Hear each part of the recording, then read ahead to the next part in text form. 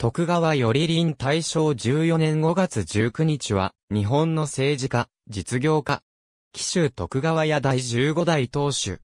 以下は、正二位。君党は、国一等。爵位は公爵。名は、来林と読むこともある。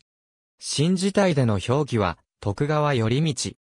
貴族院議員、貴族院仮議長、総里氏両総裁、南青井文庫総裁、南青井育英会総裁、日本図書館協会総裁、史跡名所天然記念物保存協会会長、15、銀行取締役、日本赤十字シャツネ議員、家族会館評議員、帝国会事協会評議員などを歴任した。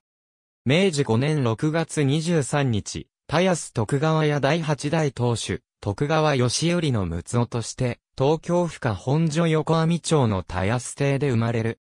聖母は、沢井八重子。幼名は東之助。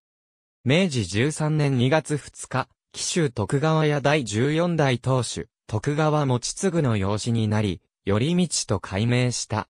明治18年に学習院に入学したが、成績不振により学習院中等学科を中退し、山の井美紀六の養成塾に入った。また、三宅米吉厚田梅子、英国人のアーサー・ロイド、米国人のウィリアム・エスリスカ村に指示して、漢学と英語を収めている。鎌田英吉によると、養子となった、頼道の不成績を心く思わない旧紀州藩主が多く、頼道自身も陰気になっていたという。明治23年9月14日に、養父の長女である久子と婚姻する。明治29年、イギリスのケンブリッジ大学に留学して、政治学を専攻。留学中には、南方熊楠の案内で、大英博物館を見学したり、熊楠を介して孫文と出会ったりしている。明治31年に2年間の留学と、欧州視察を終えて帰国。明治35年4月に、東京市麻布区飯倉町6丁目14番地の邸内に南青文庫を設立。明治39年8月21日に家督を相続し、9月7日に就職して、貴族院議員となる。明治44年に、数十万円の基金を拠出して、南青育英会を設立し、和歌山県出身の修学困難者に、奨学金の貸与や学生料の提供などを行う。一方、南青育英会の参助者を募るため、和歌山県をはじめとして、全国各地の暗夜を試みた。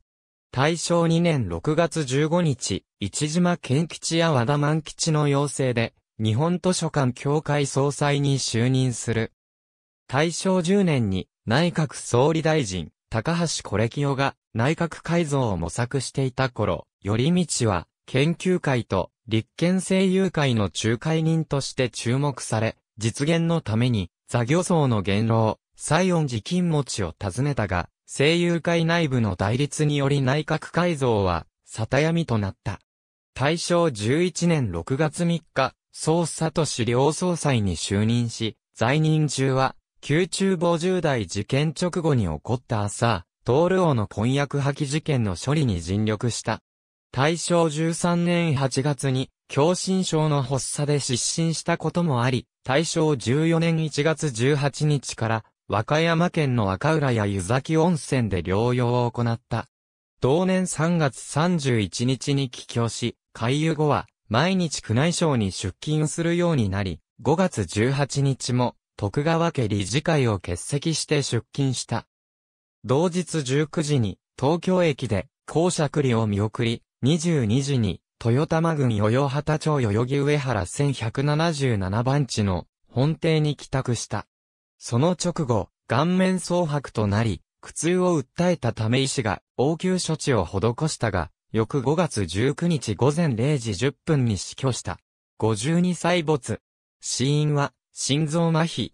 同日付で、組東随法賞を受賞し、特使により正2位に除された。